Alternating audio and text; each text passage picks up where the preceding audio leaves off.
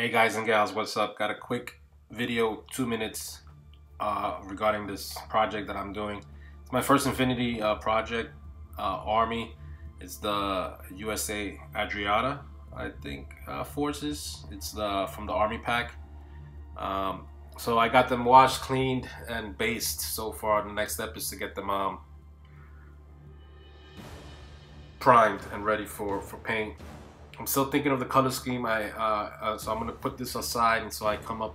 I have something in mind, but I need to find out if I if it's doable, and uh, you'll see that uh, hopefully uh, when I do, and I'll explain uh, my thoughts regarding that, and, and, if I do ever do it, my next video regarding this this project. Here's the bike. it's a girl with a bike. These models all metal pewter models from uh, Corvus Belli.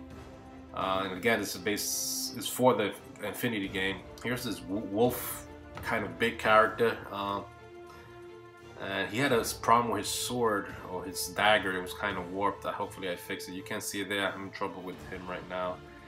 Uh, let's see if I can show it to you now. Um, so some of the bases here I got off the micro scale uh, Kickstarter from uh, Cool Media 09, just in case you guys are wondering.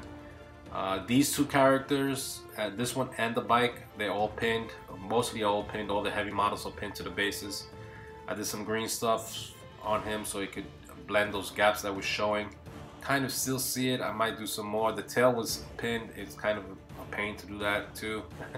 and awkward precisions to do that. So I don't have no bases on this guy or the the girl on the bike because I want to do the terrain around it, like the outside of the whatever complex the, the rest of the team are inside. Uh, hence, that's why they're not in the same bases. And yeah, you can hear a close-up look at him. So hopefully you like this video. Stay tuned for more. Take care.